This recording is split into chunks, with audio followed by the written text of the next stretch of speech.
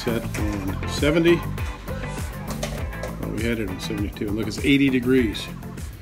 So the guy came, and uh, our AC guy was awesome. And he told us, I don't know what's wrong at first. He said it's working great. yeah, all the, the pressure was right, everything was good, uh, but uh, he, he suspected the compressor was just failing. So what am I going to do? Get a new compressor. No. Right now, I'm going to punch a hole in the roof. Oh, good. Great idea. Yeah, this is what you do when your house gets hot. You just make holes in your roof so the hot air goes out. Right, sound reasonable? Sounds kind of crazy. Okay. I got that look in my I eye. was just gonna say you do. I don't see an- another pile of wet.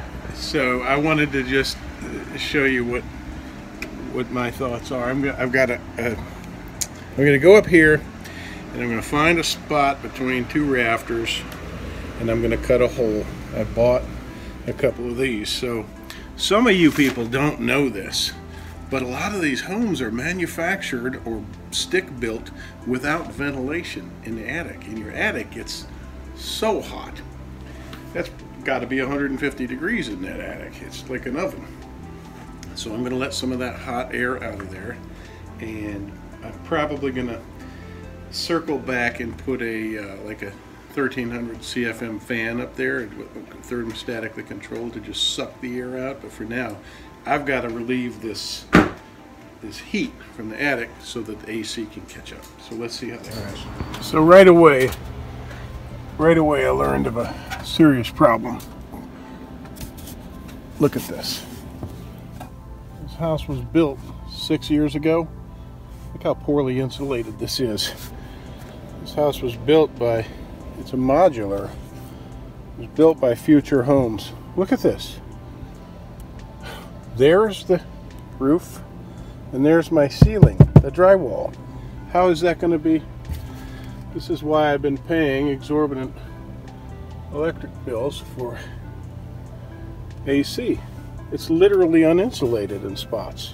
So I'm going to see if that's under warranty and get somebody to come out here and uh, re-insulate this.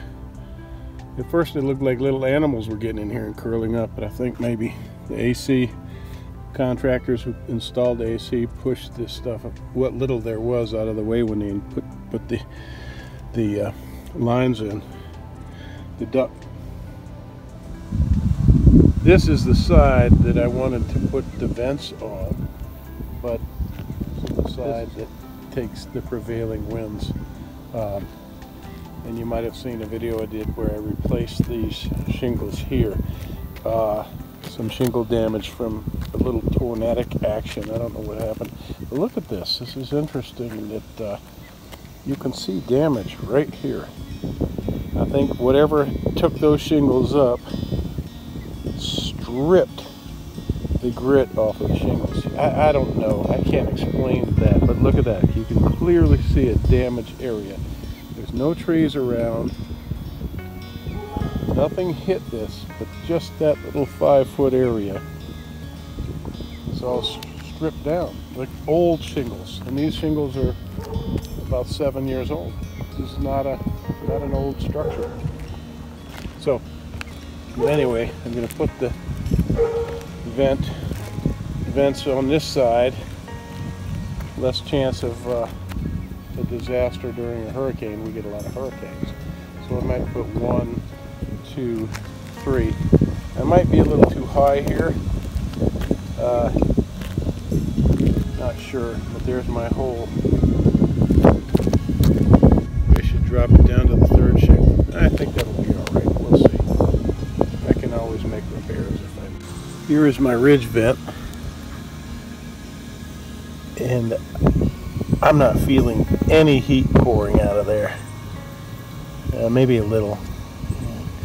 I should be able to feel something moving out of there, but I do not.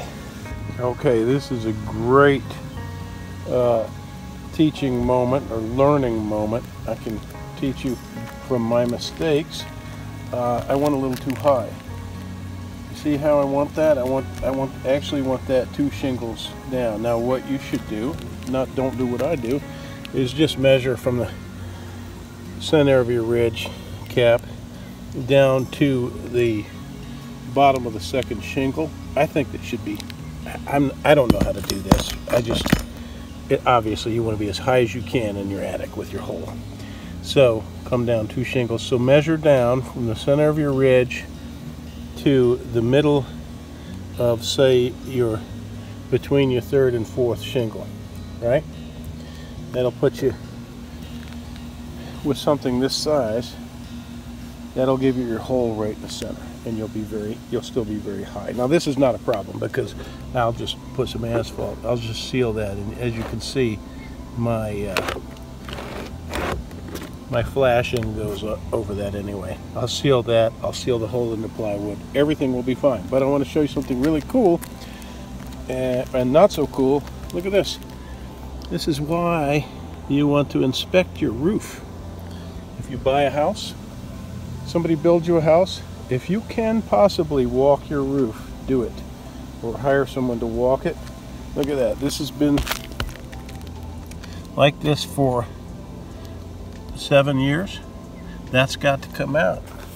And I'm going to show you about this tool right now. Look at this. Incidentally, this is a tool that one of our subscribers recommended, but I can't find the comment, so if you're watching, please remind me of your name, and thank you.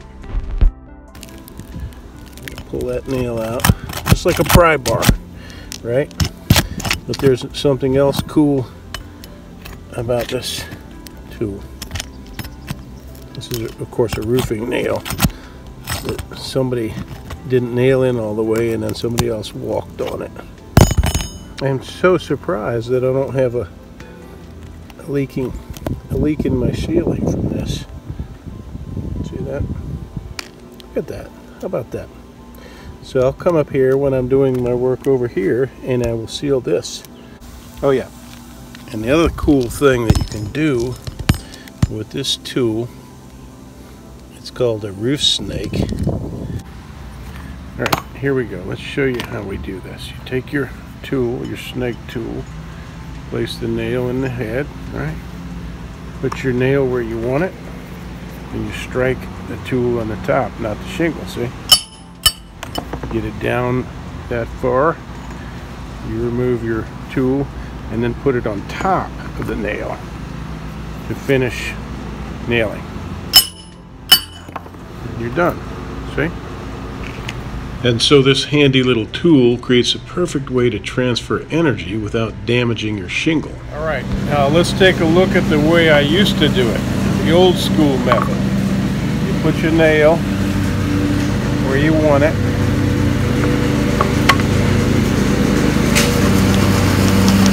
Then you take your wood, place it on the head of the nail. This way, when you strike the shingle with the hammer, you're not you're not putting the force directly onto the nail which will come up through the shingle. You're, you're putting the force, you're spreading it out onto this piece of wood, you see. Thus not damaging your shingle. You get your nail in.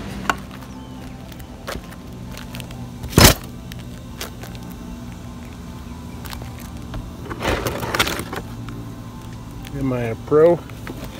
Nope I'm just a homeowner who needs relief.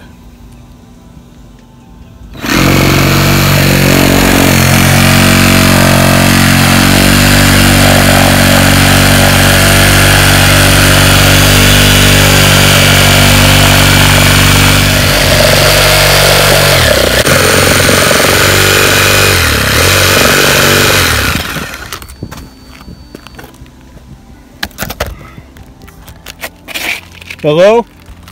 I feel the heat. Which way is the arrow going? There we go.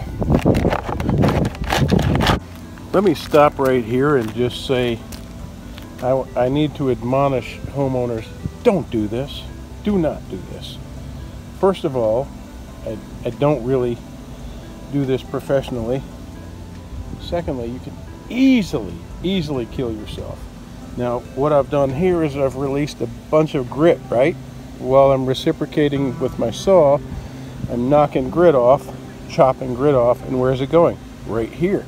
And then I might mindlessly walk along here and look at that.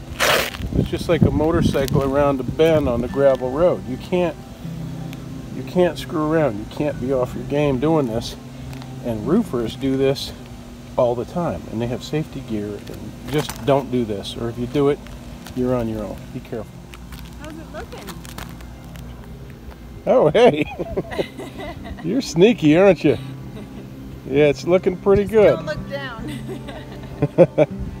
yeah be careful don't what what what are you doing Just coming to look. well we have a hole Yeah, I see that. and we have rain we have rain coming yes Uh, yeah. that's how I like to do things what am I doing So, what are you thinking as far as dinner, like timing wise? I'm trying to. I'm coming to make your dinner don't No, worry I'm already making. the pork is marinating yes Yes. Right. I have the veggies soon roasting. I'll knock a couple of nails in here and I'll come down Nice. okay leave, leave me alone woman God I, I'd be careful that how would I feel if my girl got hurt being curious mm. Just back, right? Yeah. You fall down the ladder, then you fall down the stairs, right? Yeah, that wouldn't be fun. Right. Probably land right there though. All right. Right. Well, Not that far. thanks for thanks for checking in. I'm still pulling nails to get under all of this. Let's see. Yeah, come on out.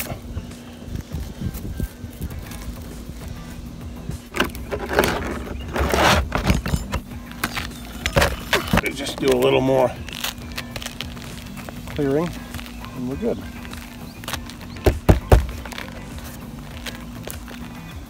Wear gloves.